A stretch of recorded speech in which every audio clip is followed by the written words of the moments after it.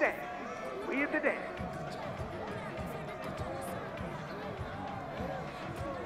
Let's go. Let's get it started.